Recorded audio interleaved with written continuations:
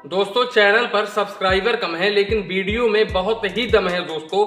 दोस्तों, इस वीडियो में हम स्टेट बैंक ऑफ़ इंडिया के सुबह आरंभ करंट अकाउंट को एनालाइज करेंगे कि इसमें अकाउंट ओपन करवाने के लिए आपकी क्या एलिजिबिलिटी होनी चाहिए, इस अकाउंट्स में आप लोगों को कौन कौन से हिडन चार्जेस देने होते हैं, इसके अलावा इसमें कौन कौन सा बेनिफिट्स आप लोगों को प्रोवाइड किया जाता है। तो इन सारे पॉइंट्स को हम एक साथ में डिस्कस करेंगे दोस्तों, पूरे लाइव प्रूफ के साथ में।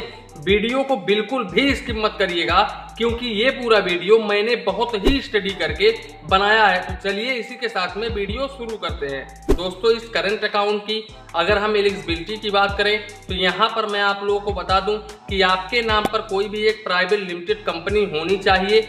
और इसके अलावा अगर आपका कंपनी जो है वो पार्टनरशिप में भी होता है तो भी यहाँ पर चल जाता है, लेकिन वो कंपनी जो है वो रजिस्टर्ड होना चाहिए एक तरह से।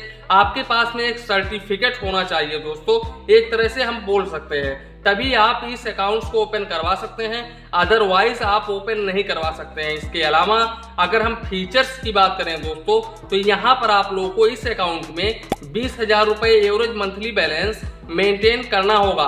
दोस्तों, यहाँ पर एक और पॉइंट आता है कि अगर आप फ़र्स्ट ईयर में एक भी रुपीज़ मेंटेन नहीं कर पाते हैं इसके अलावा आप एक भी रुपीज़ ट्रांजेक्शन नहीं कर पाते हैं तो भी आप लोगों को कोई भी परेशान होने की ज़रूरत नहीं है। यहाँ पर आप लोगों को फ़र्स्ट ईयर में कोई भी चार्ज नहीं देना होगा। इसके अलावा दोस्तों, इस करंट अकाउंट में आप पर मंथ 15 लाख रुपए तक कैश डिपॉजिट कर सकते हैं। इसके साथ साथ दोस्तों, इस करंट अकाउंट में आप लोगों को हंड्रेड पेज का चेकबुक पर मंथ फ्री में प्रोवाइड किया जाता है। इसके अलावा दोस्तों, यहाँ पर पर मंथ टेन डी यानी कि डिमांड ड्राफ्ट फैसिलिटी यहाँ पर फ्री में प्रोवाइड किया जाता है। इसके अलावा दोस्तों, आप लोगों ने देखा होगा कि पीओएस मशीन काफ़ी सारे दुकान पर होता है। तो यहाँ पर आप लोगों को एक पीओएस मशीन फ्री में इंस्टॉल करके दिया जाता है। यहाँ पर आप लोगों से इस पर कोई भी चार्ज नहीं लिया जाता है। अगर आप लेना चाहते हैं तो इसके अलावा दोस्तों कैश डिपॉजिट आप पाँच लाख रुपए तक नॉन होम ब्रांच से पर डे कर सकते हैं। इसके साथ साथ दोस्तों, इस अकाउंट्स में आप लोगों को pride premium business debit card provide किया जाता है।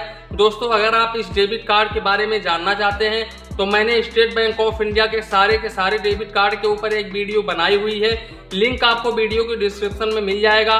उस लिंक पर आप क्लिक करके वीडियो को देख सकते हैं। इसके अलावा दोस्तों, इस करंट अकाउंट में आप लोगों को free corporate internet banking provide किया जाता है।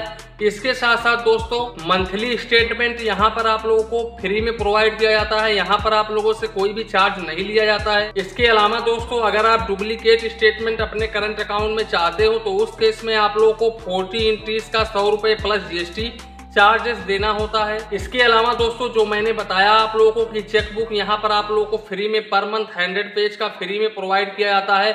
अदरवाइज़ अगर आप एक्स्ट्रा चेकबुक लेना चाहते हो तो उस केस में आप लोगों को पर पेज का तीन रुपए चार्ज देना होगा दोस्तों। यहाँ पर जो भी चार्ज आप लोगों को देना होता है, उस पर दोस्तों आप लोगों को जीएसटी भी देना होता है। तकरीबन ये जीएसटी 18 परसेंट तक होता है। और अगर आप अपने अकाउंट्स को एक जगह से दूसरे जगह पर ट्रांसफ़र करना चाहते हो, यानी कि आप ब्रांच को एक जगह से दूसरे ब्रांच में आप अपना अकाउंट ट्रांसफ़र करना चाहते हो तो उस केस में आप लोगों को एक भी रुपीज़ नहीं देना होता है।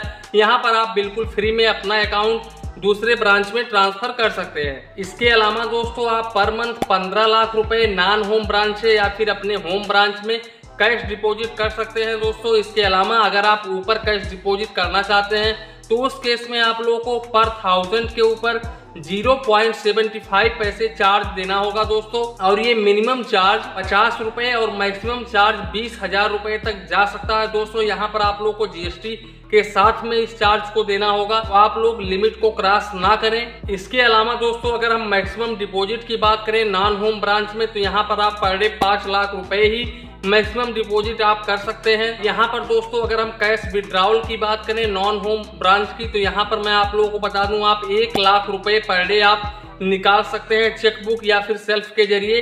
इसके ऊपर आप नहीं निकाल सकते हैं। इसके अलावा दोस्तों, आप अपने होम ब्रांच से कैश विड्रावल की बात करें तो यहाँ पर आप अपने होम ब्रांच से जितने रुपए चाहे, उतने रुपए आप निकाल सकते हैं। यहाँ पर कोई भी लिमिट नहीं है अनलिमिटेड है। इसके अलावा दोस्तों, यहाँ पर आप लोगों को एसएमएस अलर्ट पर कोई भी रुपीज़ नहीं देना होता है। यहाँ पर बिल्कुल फ्री होता है। इसके साथ साथ दोस्तों, जो मैंने आप लोग को बताया एवरेज मंथली बैलेंस की, इतना आप लोग को मेंटेन करना होगा। अगर आप उस बीस हज़ार रुपये को मेंटेन नहीं करते हैं तो फ़र्स्ट ईयर तो मेंटेन नहीं करते हैं तो कोई दिक्कत नहीं है देयर आफ्टर यानी कि आप दूसरे ईयर में भी आप मेंटेन नहीं करते हैं तो उस केस में आप लोग को पर मंथ थाउज़ेंड रुपये प्लस जीएसटी चार्ज देना होगा। इसके अलावा दोस्तों, अगर हम एन e और आर की बात करें तो यहाँ पर मैं आप लोगों को बता दूँ कि आप अपने मोबाइल बैंकिंग या फिर इंटरनेट बैंकिंग के ज़रिए बिल्कुल फ्री में एन e और आरटीजीएस कर सकते हैं। यहाँ पर आप लोग को कोई भी चार्जेस नहीं देना होता है। इसके अलावा अगर आप ब्रांच के ज़रिए आर टी जी करना चाहते हैं तो इस पर आप लोग को चार्ज देना होगा। दोस्तों, ये चार्जेस आप लोग को जो भी रेगुलर करंट अकाउंट के ऊपर देना होता है सेम वही चार्जेस आप लोग को यहाँ पर देना होगा। यहाँ पर कोई भी बदलाव नहीं किया गया है। अगर आप इस चार्जेस के बारे में जानना चाहते हैं तो वीडियो के डिस्क्रिप्शन में मैंने लिंक दे दिया है।